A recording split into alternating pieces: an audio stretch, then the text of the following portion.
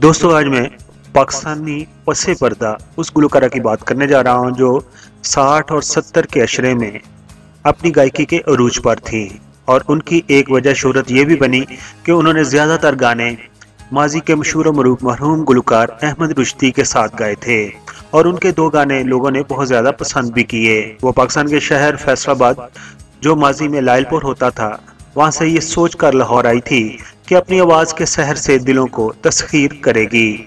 और फिर ऐसा ही हुआ, और वो आगे चलकर पाकिस्तानी पसे पर्दा मौसीकी का एक नामवर सितारा बनकर उभरी। जी हाँ दोस्तों, बात कर रहा हूँ माला बेगम की।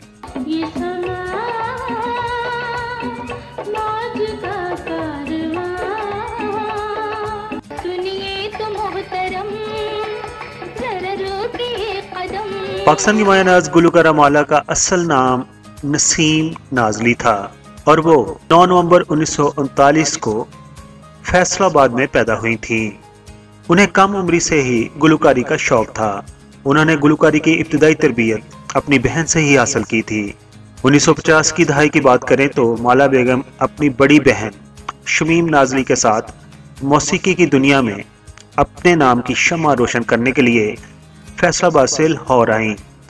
उनकी बड़ी बहन शमीम नाजली ने मुल्क की वहद खातून मौसीकार होने का एजाज़ भी हासिल किया है और उनकी बड़ी बहन पाकिस्तान रेडियो पर गाती भी थी। यही वजह थी कि मौला बेगम अपनी बड़ी बहन के साथ अक्सर रेडियो पाकिस्तान लाहौर का विज़िट करती रहती थी। और उनकी बड़ी बहन शमीम नाजली ये भी चाहती थी कि उनकी छोटी बहन मौला बेगम गुलकारा बने। और उन्होंने अपनी छोटी बहन की भरपूर तरबियत की और फिर माला बेगम ने अपनी आवाज़ के सहज से ज़माने को अपना गर्विदा बना लिया।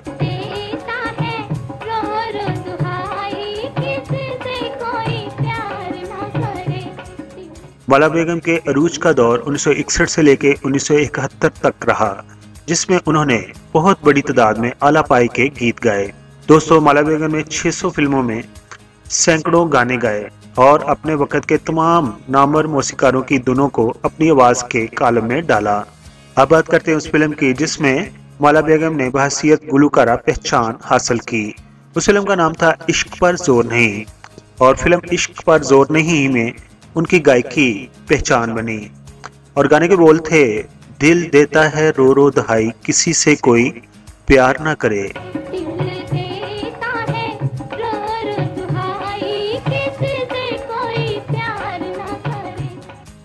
जब उस वक्त के सामीन ने और फिल्मिनों ने ये गाना सुना और देखा तो सुनने वालों ने बहुत ज़्यादा उनकी आवाज़ को अप्रिशिएट किया। पाकिस्तान के मुख्तल रेडियो स्टेशन उनके गाने को बजाते थे। उसके बाद वो पाकिस्तानी फिल्मी सनत पर छा गईं और 60 की दहाई में वो उर्दू फ़िल्मों की सबसे मकबूल गुलकारा बन गईं, जिन्होंने बड़ी तादाद में सुपरहिट गीत गाए।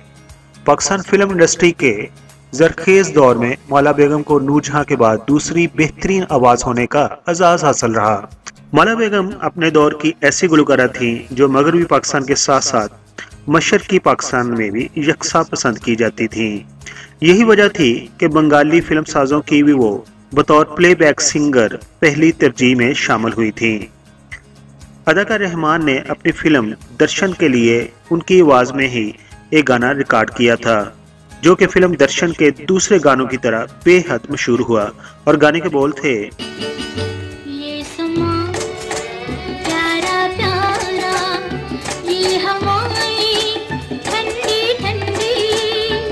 आपके ज़्यादातर गाने मरहूम शमी मारा और अदाकारा जेबा पर फिल्माए गए थे।